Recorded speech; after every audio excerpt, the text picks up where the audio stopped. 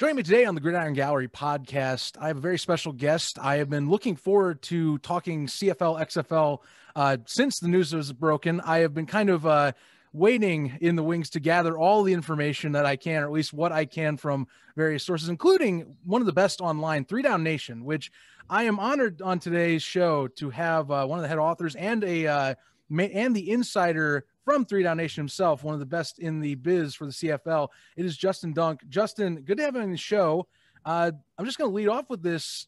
What is what have you how have you taken this in in the last 20 days? It is a as of our recording, it has now been the 20 day mark since the official announcement of this partnership, if you will, or what will be maybe even more than that. I mean, where are you at with this right now?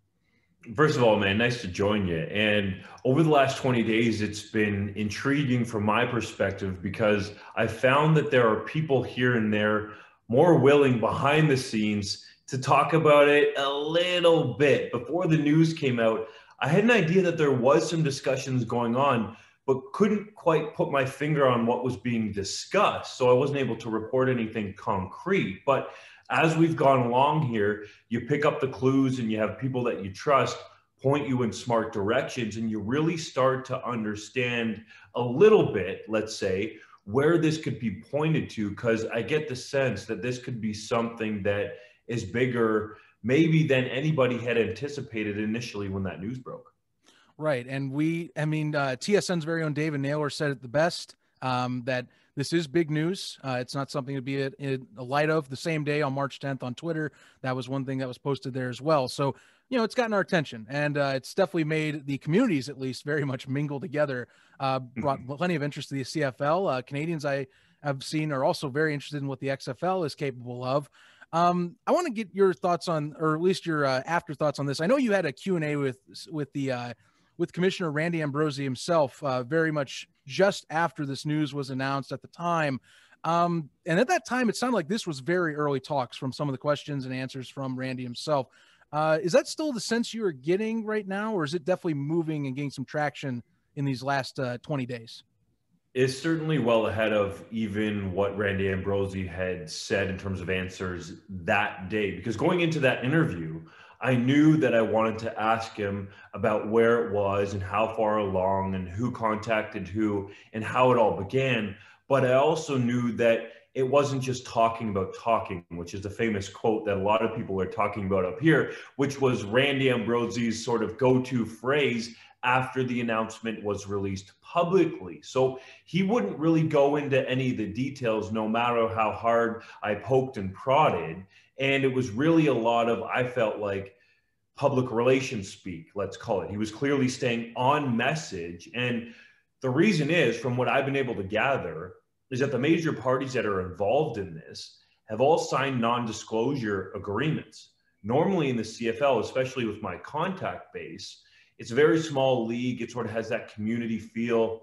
Obviously, the Canadians love it because of its unique Canadian rules most probably importantly among them, the three downs. And stuff doesn't really stay quiet if you're connected in those proper ways. So to me, that's been the most telling sign that something big is happening here is that people are actually honoring their word for once and keeping their mouths shut, which makes it a little more difficult for reporters like me and guys like yourself trying to get the information and see what's actually going on. But to me, it really stood out that day because Ambrosie was staying on message, clearly something that they had gone over before and prepared for to give us a talking point, but not much more. Right. And hey, many of us in the XFL community, for my site in particular, XFL Newsroom, for my affiliate, you know, we're trying to figure this out as we go too. And we're also trying to, you know, kind of grasp what what's which sides are looking for what. You know, the XFL is trying to, at least from we can tell, they're trying to get things started and get on a roll, but they see an opportunity with the CFL, who is definitely the more grounded, the more established league that is going to be able to give them an opportunity to say, hey, you know, here's someone that knows how the game works. Um, and I, I wanted, I'm just wanted, I'm curious here. The CFL, they they've kind of deflected some of the ownerships for groups like, say, Winnipeg and Saskatchewan. Saskatchewan have uh, mentioned that they have moved on from saying this is more about, say, a money deal or at least trying to influx money. Um, however, you do have the likes of, say, Daniel Cohen. He is a uh, financial advisor, if you will, from a high firm called Octagon, um, saying that this is worth almost $100 million US annually if they try and go to a merger, which I'm not saying that's the case right now, but if that was to be certain, that is projected 100 million. Is that something you think that's being looked at still right now? It's a lot of speculation going on. I should mention it's is for stories, but it seems like merger comes up more and more often as the days go by. It really does. And that seems to be what all the signs are pointing to right now. Although, if that eventually does happen, there's still a lot to be worked through. I essentially think what the announcement was was to really put it out there for the CFL and XFL to say on both sides of the border, we're open for business. And I really think that gets at what you're talking about with a potential television contract, corporate sponsors, streaming rights, and the big one, especially for us up here in Canada, is betting because it's soon going to be legal up here, single game betting, that is. So I really got the sense that it wasn't so much an announcement for maybe the reasons we thought it was to get it out there, but it was for the corporations that maybe don't have the connections or follow all the behind the scenes with both leagues to say, hey, we're open for business. You want to come talk about a television contract? pick up the phone, give us a call. Heck, we'll give you a call about it and have those types of conversations. And as those happen, then they can have their discussions in terms of between the CFL and the XFL and see where they come out on the minutia of it, the stuff that the fans care about specifically up in Canada, the rules and the tweaks and those things that might not that might happen. So when you talk about a potential of a hundred million dollar TV deal, it's a big number, but the CFL already has a $50 million TV deal annually with TSN. Now, there's a lot of people that say, well, it should be on multiple networks up in Canada. And for the uninitiated down in the US and your audience, Sportsnet and TSN are the big two sports media companies in Canada that have all of the rights. Sportsnet has all the Blue Jays games in the summer, and typically TSN tries to go up against those with the CFL. Obviously, not as many games, but that's one of their major summer content drivers. Sportsnet has all of the hockey rights except for some regional ones and some games that I don't know the exact minutia, but they get passed back and forth like the Maple Leafs and the other Canadian teams. But Sportsnet has all of the Stanley Cup playoffs. They have the Stanley Cup, which is the golden jewel up here. For the Raptors, those go back and forth. So there's a lot at play here in terms of content for TSN because, as I said, it's such a big summer driver for them. But if you're the CFL and you're looking at it going, well, the potential of a $100 million TV deal doesn't seem all that big when you already have a $50 million TV deal in your pocket. Now, where I think the CFL is hoping to go is get into some of those American markets and at least have their product on. And then maybe in the future, the deal becomes bigger. And can that deal be boosted initially by a guy like The Rock, who has the following that he does, and maybe creating content around it? I've heard people tell me that they're thinking of the concept of the ballers, but in real life, where they have a reality show that follows The Rock around. So lots of different unique content you can create when you have a guy like The Rock. Absolutely, and we we as XFL fans have definitely been promised that. That was one of the initial things was they were going to focus heavily on the content front. Eventually, with the iteration of the XFL, which by the way, as you and I now know, and for those listening, we're still technically on hold for 2022 season in the XFL side. The CFL has definitely said now, uh, after some recent reports, that they are definitely going to be playing 2021, and it looks like they have made steps towards that as well. You, you bring up an interesting point. I wanted to ask about the TV side of this, and I'm glad that you did. And you kind of talk about the exposure that CFL is looking for. They're trying to find, and they've looked for in their history, ways to kind of bridge the gap to the U.S. audience. Um, and some some fans, some pundits, uh, they have talked about the failed 1993 expansion into the U.S. And I know this has been brought up by many people that this XFL potential merger partnership, if you want, could have some ramification maybe of this. How would this be? How much would this be different, or what steps would needed to be in this case to avoid, say, a U.S. expansion that would have issues of a stadium, or in terms of stadium sizes and you know uh, dimensions, if you will, if they were to go say the CFL way of the uh, stadium dimensions and uh, rule sets? To the best of my knowledge, that U.S. expansion was really done out of necessity. The league was really on death's door, and they had to do it to see if they can generate any other interest outside of the country. Obviously, everybody looks back on it as not being successful, but I don't think you can directly compare it. And I believe this is what you're getting at with what we're potentially looking at here with the CFL and the XFL because The Rock is a difference maker. And also, which I think has gone a little bit under the radar, Redbird Capital. They have yes. all of those assets, right? It's over three or four billion dollars. So the money is there to sustain it for the long term if they feel like it's viable or they can see that upward trend in the short term. So to me, that's the key. That's why it's totally different. People in the CFL feel like they need to get into the American markets and get established to really grow the game. I do think there's still room in Canada to increase their revenue streams. There's a couple lost generations up here because, to be quite honest, there's a few teams around the league. A lot of people would point, especially at the Argos and the BC Lions, where the marketing budget just really hasn't been spent there, or the dollars haven't been spent there, I should say. Mm-hmm. And there's people that really feel like they lost a couple generations as well because they weren't in on the grassroots level. I'll give you a quick example. Up here, you can go around to the major centers and you can see the NFL in those markets with what they're doing with flag football. They're getting that gear out to get their product in front of the younger demographics so they grow up with it. But I had a coach from Northern Ontario contact me not too long ago and say, Hey, can you put me in touch with anyone at the CFL office? I'm trying to get some CFL branded flag football gear because we're Canadian. We want to play with the CFL stuff, right? Kind of makes of sense. So I said, yeah, sure thing. I'll do my best that I can. But you would imagine that if somebody's reaching out to the CFL, they would try to get that gear to them as quickly as possible. A small thing, yes, obviously it's going to take some time, but it's going to help grow your game. So those sorts of things really haven't happened across Canada, Canada wide. They have in certain markets. Certainly, the Saskatchewan Roughriders have done a wonderful job of that. They support minor football in a big way. Edmonton would be the same, and the Winnipeg Blue Bombers, I would say, and also the Hamilton Tiger Cats. And I think the Ottawa Red Blacks resurgence has shown that you can make a football game less of a game and more of an event because they have a younger crowd there. But I still think there's room to grow in Canada, although the board of governors and the powers that be in the CFL really see, and it makes sense because of the sheer population down there, the United States as a way that if they can get in there and establish themselves to supercharge the league.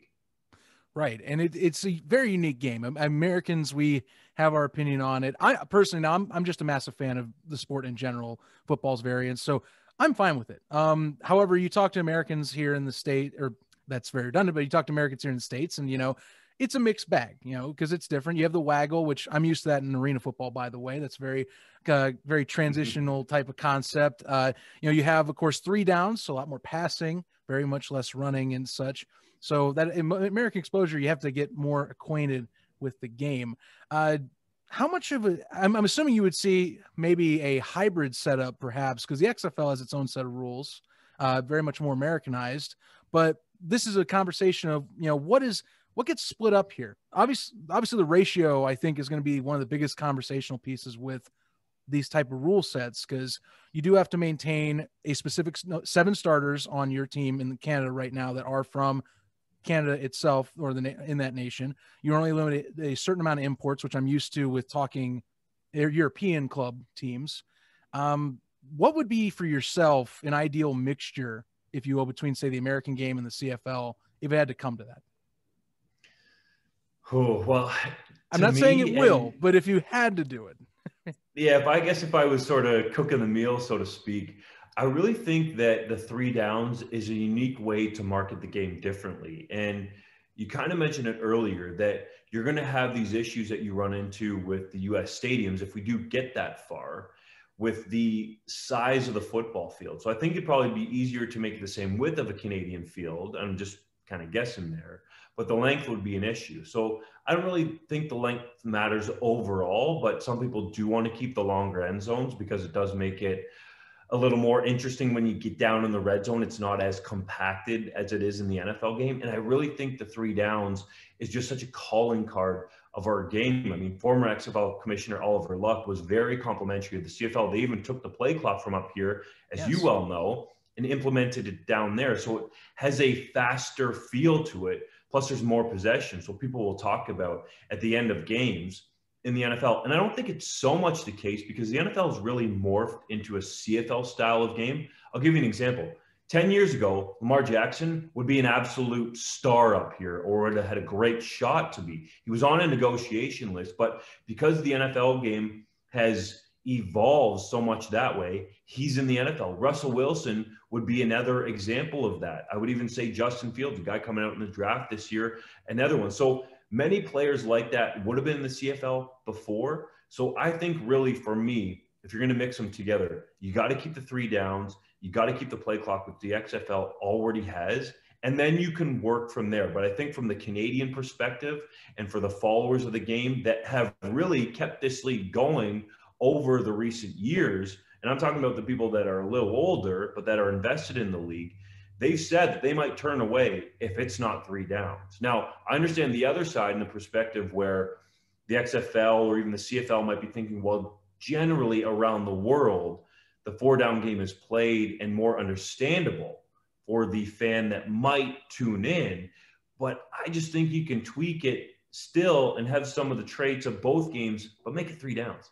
Yeah and I, I really do appreciate the three down. Like I said, I know I'm I'm talking arena just from my my own experience talking that, but it, it very much reminds me of arena football's past happiness in an open setting like that. You know, it's much much faster. It's much more uh, at least explosive. The tension's more built up because you really only have about two downs to convert a first down. Otherwise, we punt. You know, Americans we get an extra down. So know we got to deal with that that little bit of a buffer, if you will, added into the game. Uh, something that I like that you brought up there. There has also been this conversation of the traditionalist CFL fan or those that don't want to see the game go away. And again, I don't want it to go away. I was I'm again I'm stressing those watching or listening to this show. I was I'm posing this question to you. So that is why I posed the you know the kind of the mashup. But I want the game to I would love to see the game stay. Um but it seems like there is like you're talking a generational drift if you will with the CFL that they're trying to grab that is some of the XFL's own positives with maybe a more youthful touch to it or trying to expand the game into more of a youthful sense or the younger generations. Um i mean is that how do you break that in terms of just trying to make sense of moving forward with the cfl for example say this merger or partnership that we're talking about doesn't work out where does the cfl go in that sense if they just go their separate ways with the xfl and maintain course or status quo, as it's been mentioned? They would certainly be looking for increased revenue opportunities, even if nothing happens with the XFL. And the top one's going to be betting. So I'll give you an example. When that passes in Canada, and I really believe now it's a matter of if, not when, or sorry, if not when, it's going to happen that that's going to increase a new stream for the CFL that they could capitalize on. And I've used this example before, and I think it's so perfect for our conversation now. I played five years of university football in Canada at the University right. of Guelph. I was a starting quarterback, and all of the guys I played with there grew up playing three down football for the most part. There were some leagues in the summer that we played four down, but it was mostly three down. We all played three down in university. And those group of guys that I'm still friends with to this day, my best boys, we're in an NFL fantasy league together that's gone on since university they all watch the NFL. But when this news came out with the XFL and the CFL and the idea that they can maybe gamble on CFL football from a single game perspective, that's a game changer. And I think the CFL really sees it as a way to potentially draw back some of those lost generations because you can have those single game bets. You can have the prop bets that everybody's obviously talking about for the Super Bowl, but from a game to game basis, you know, just in Canada. So I think that's one way that they can grow revenues, certainly. And I think the other way is getting back out in the grassroots. And that may take more time for you to get the actual money in your pocket, but is having the CFL visibly out there consistently It's one thing to do it here and there, and the CFL is famous for in the offseason wanting to go dark after the Grey Cup is played in November. But websites like Three Down Nation and even some other ones that you're starting to see, and even the league's own website, CFL.ca, understands you got to have content every day. You want your league to be in the conversation, right? You know that very well yes. with how football is talked about down there, and especially the, the NFL. So I think the CFL is starting to understand that. We had an interesting piece actually on Three Down Nation over the weekend that had a comparison between the Canadian Premier League, which is a soccer league that's only two years into its existence up here, but has quickly developed a following, and they have a streaming service set up with a company called One Soccer that has content set up around the games. And obviously, there's other soccer and a bunch that's going on outside of the Canadian Premier League, but they're a part of it. So it's always within that conversation. So could the CFL set up something like that, which is sort of a pseudo NFL network, but where you're driving the conversation? You have content out there all the time. And that's one of the reasons why I think even if nothing works out between the CFL and the XFL, the announcement alone has Canadians talking more about the CFL in March than I've experienced in my lifetime. And I'm 35, so it's been a while. hey, I, I'm happy to hear it too. I mean, I many of us, I would say just to the American experience, we know we know the CFL's there. We just have, you know, I would say this is definitely the most we've even heard of the league for sure in some time. You know, uh, I would say a lot of people they kind of default the CFL. They go, "Oh yeah, Doug Flutie played there," or, or you know about that. Like they played, like yeah, Doug was there for the '90s. He played for uh, what was that? The Calgary Stampeders, right? Right, and the Argos. and maybe you know that, but um, you know, I, I, I will say that it's definitely been a great interest piece so far uh, to keep up with it, and you know, I've been happy to be checking out many of the teams and just the rules itself. And I, you know, for those listening, I recommend you do that as well. And you know, tune into th- or check out Three Down Nation for many of the write ups. And by the way, you know, you talk about the Canadian Premier League. I was, if you didn't say it, I was going to say it because I'm I'm shocked that there isn't a service yet like that for the CFL. I mean, the league is, you know, the league rivals the NFL. Actually, its its origins are even longer than the NFL in terms of just its age um, I'm just surprised and kind of looking at the history is this has kind of been the case with the league. Am I right? Just kind of uh, sometimes a few steps behind and maybe uh, development in some areas. Is that right? Exactly. And it's really just because they don't have the funds or haven't decided to put the funds in there, I should say, because you still have the six private owners and a number of them, Bob Young with Hamilton, the Greenberg family in Ottawa, that have big successful businesses outside of the CFL. So they could have put money into this. And there's not a lot of people that know that, you know, as recently as like the 1970s and 1980s, even, there were CFL teams that were outbidding NFL teams for players. So that's a little known fact. And it's interesting to look back at that and then see where the leagues are now today, where the NFL just signed a hundred billion plus television contract, yeah. hundred billion dollar plus, and the CFL has a fifty million dollar one. Now, the population is obviously different, approximately 30 million in Canada, 330 million down in the United States.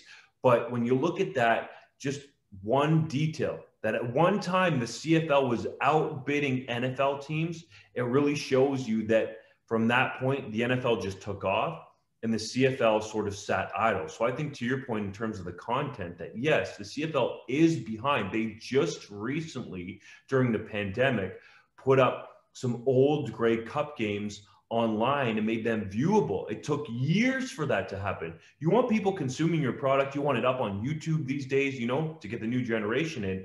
But a lot of people will tell you that has to do with the TSN deal that they have, that it's so exclusive and there has to be so much conversation that goes on with the main rights holder before any of that content can get online that it becomes a long drawn out task. But I think the CFL is starting to realize that you need to have it at the fingertips. And I remember the quote from Adam Silver, it's always imprinted in my mind. If you have a snack, they'll want to come back for the full meal. That was how he felt about having NBA highlights pasted all over YouTube. Any account can put highlights up, right? It's not yeah. quite the same with the CFL, but they're really starting to get it. Uh, yeah, I think I think this announcement alone just has to help with that in any case. You know, that TSN deal is very interesting, I think, in play with what is a potential future setup because they signed in 2019. It's a six year deal added on. Um, how would how would this work, at least that you would think, if say it seems like the timeline's drifting towards say 2023 ish that they would if they were to talk a potential partnership leaning merger that they would have it all set up together where they could maybe cross the border if you will for games.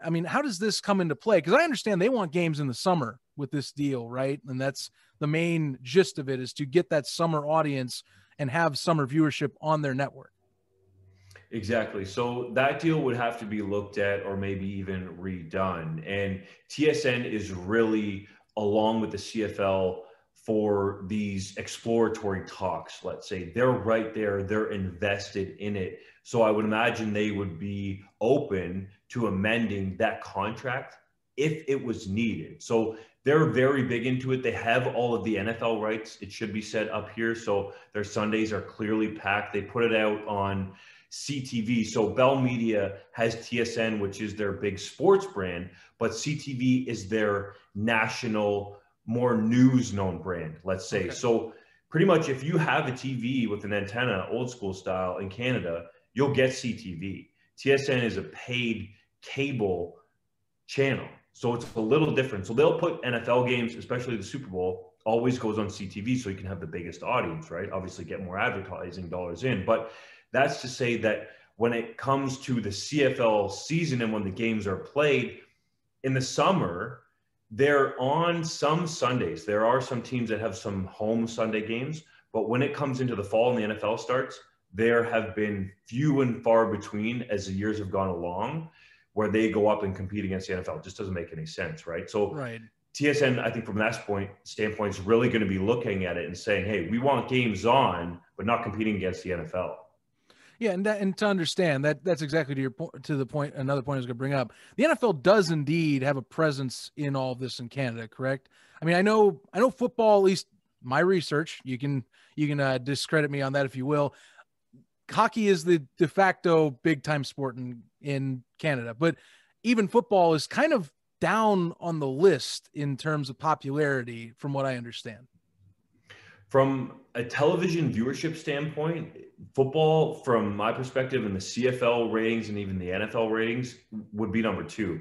The gold standard in terms of TV ratings in this country, you hit it on the head, is hockey. Everyone talks about, you know, Hockey Night in Canada is on Saturday night. And generally, especially if the Leafs are good, they're going to get over a million viewers. Now, you consider the population up here is only 30 million, and you have a million of them watching a Leafs game. Well, you look at the averages over the years, and we've tracked this on Three Down Nation very extensively. And we're actually the only site that tracks the TV ratings to this de- great degree that you put on a CFL game, even if the, it's the Argos and the Lions, the Toronto Argos generally draw pretty well on TV. That no matter what the teams are, unless it's two terrible teams at the end of a season, last year the Red Blacks and Argos were awful. A couple of those games got under 400,000 viewers but you're going to average at least 500,000 viewers over the course of your season. And for the playoff games, obviously it's going to be higher, and Grey Cups is going to be in the multi millions, right? We're going to talk about three, four, five, six, seven million.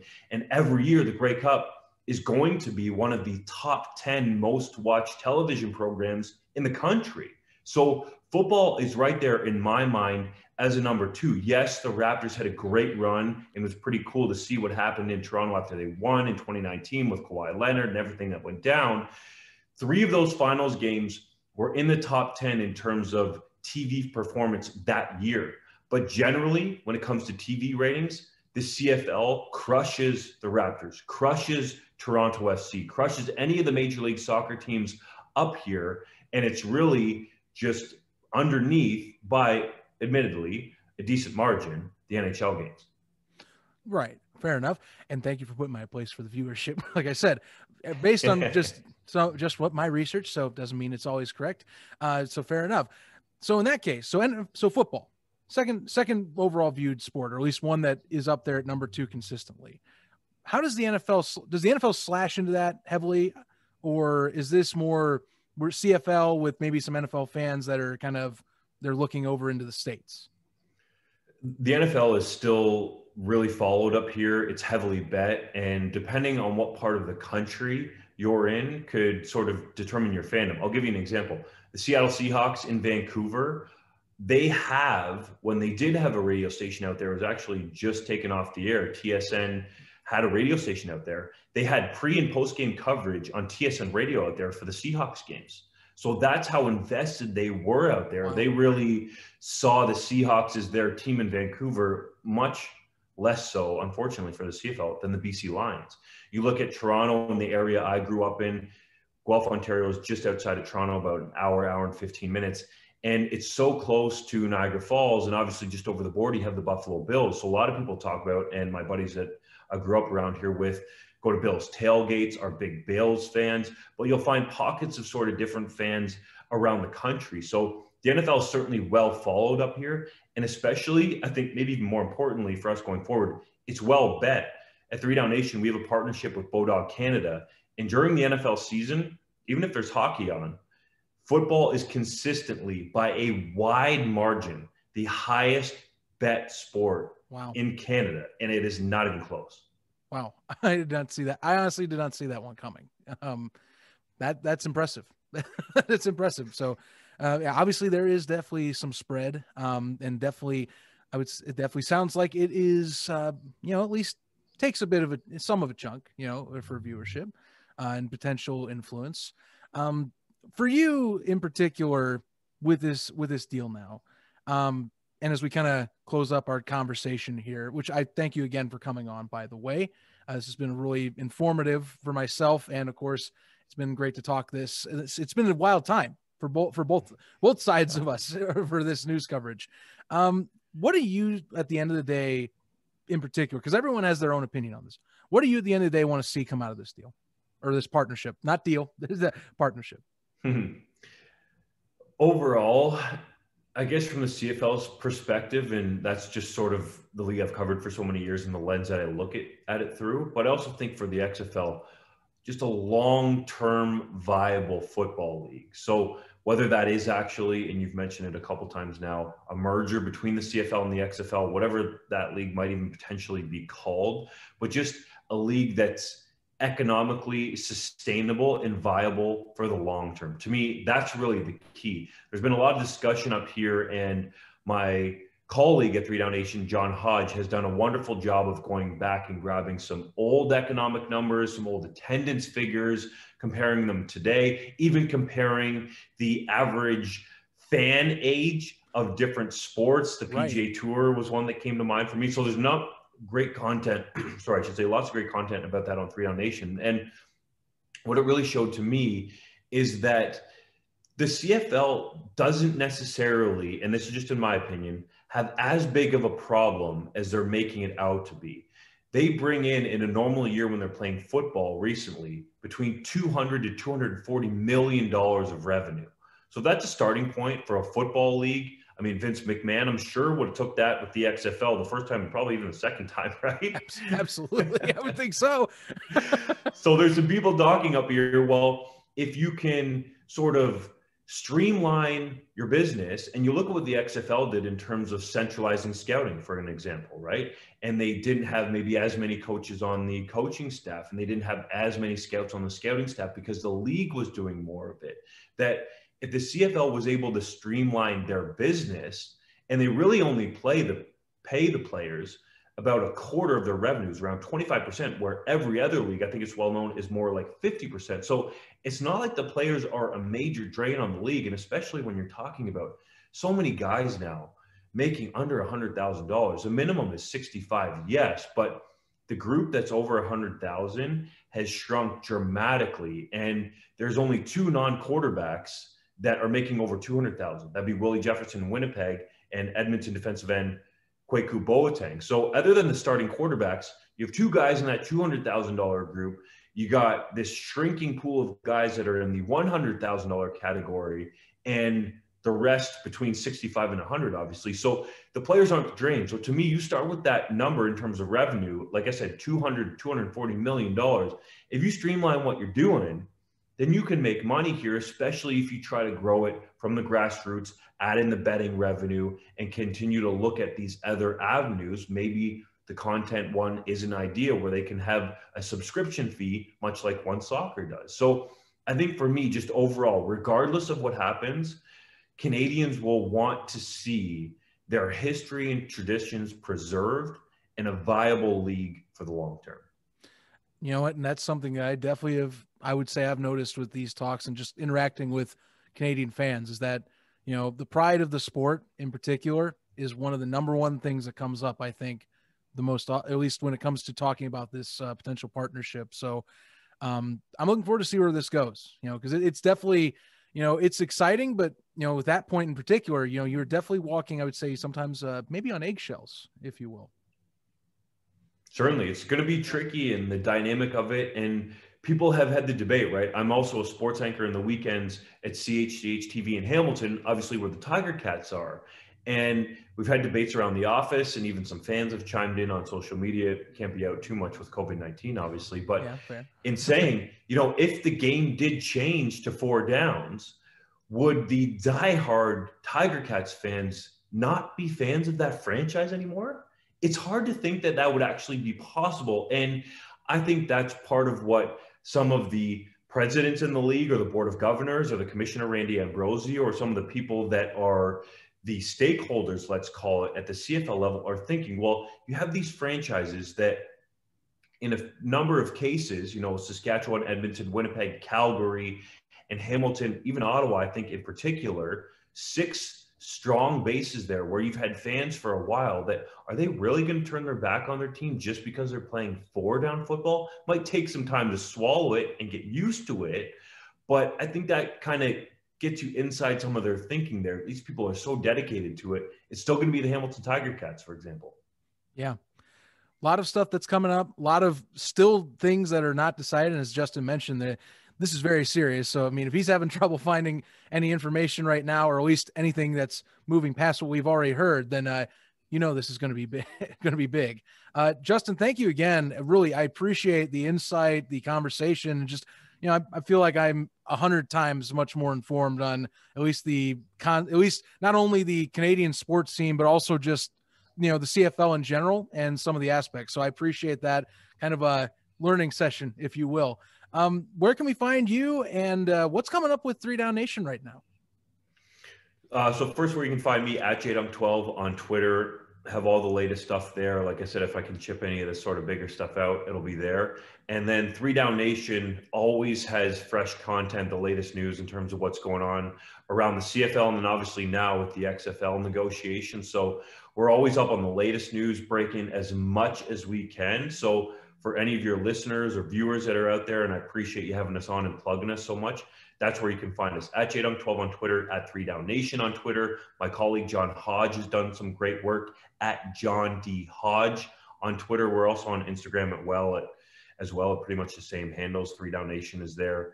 Um, my tw- my Instagram handle a little bit different. It's jdunk underscore 12 because that username got taken up. But anyways, that's where you can find us, and we'll always have all the latest, man. And honestly, I would be remiss if I didn't say, you know, I appreciate coming on with you, and it's been intriguing to hear the American perspective of it because I think it's given Canadians a little bit more sense of pride that the Americans actually do respect our game and do understand that it is unique, that it is cool, that it is fun and fast paced. So talking to guys like you have really shown that to me. So I appreciate you sharing some time.